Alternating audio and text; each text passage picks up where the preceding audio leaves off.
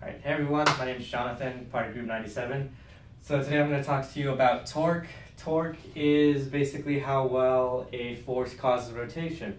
It is exerted about a pivot point and is given by the equation torque T equals, or torque tau equals RF sine phi, where R is the distance from the pivot point, F is the force, and phi is the angle between the force and the axis of rotation. What's up class? Uh, my name is Daniel and here we have a classic torque problem.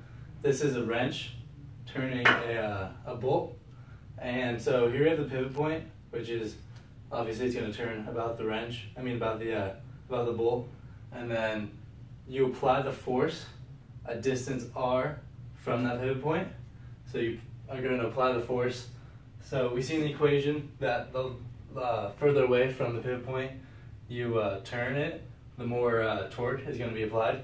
So um, usually you're going to want the angle from the axis of rotation, phi, to equal 90 degrees because that is when, because sine of 90 equals 1. So that is when you're going to have the most torque applied.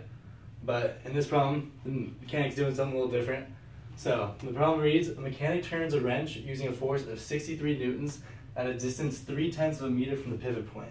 The force is applied in a counterclockwise direction 45 degrees from the axis of rotation.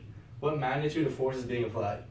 So first of all, we see that the force is being applied in a counterclockwise direction, which means the torque is positive, because if it's in a clockwise direction, meaning it's going that direction, it would be um, it would be negative. So using the equation, so I'm going to erase that really quick. We have torque equals, and then we see the, the um, distance from the pivot point, which is going to be r. We have the 0.3 meters.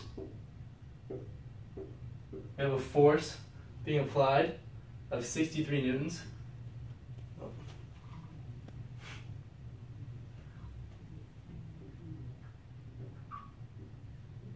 And then we have an angle 45 degrees from the axis of rotation.